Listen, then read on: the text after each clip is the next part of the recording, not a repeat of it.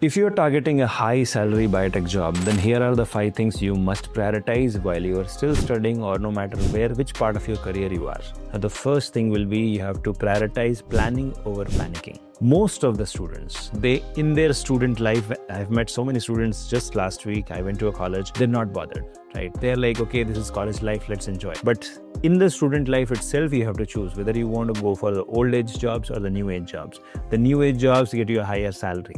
For example, clinical research, clinical data management, bioinformatics, regulatory affairs, quality assurance, quality control. So you need to choose the right domain. That's the first trick.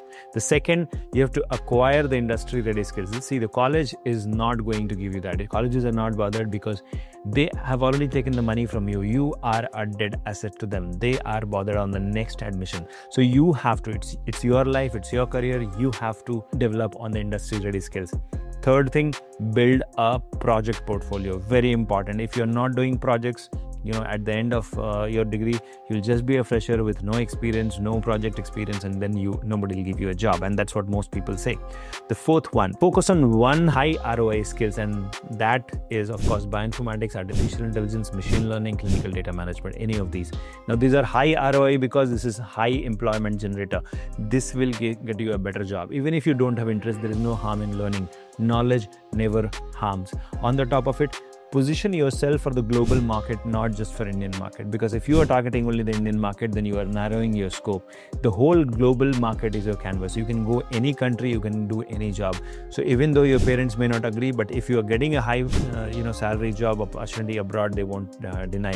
So if you want to uh, succeed in your biotech career you have to plan ahead than others. Then only you succeed. I know a candidate who was who studied in third grade btech college in Rajkot, okay?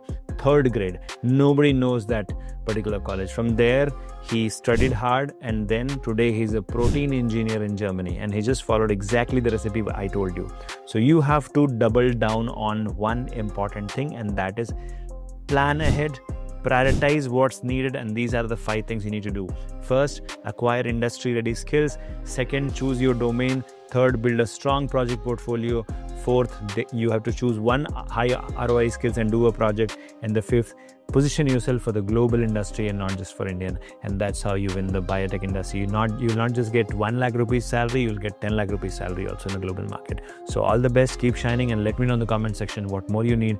And i'll give you a free demonstration of how can you go ahead from zero to hero in the biotech sector. All the best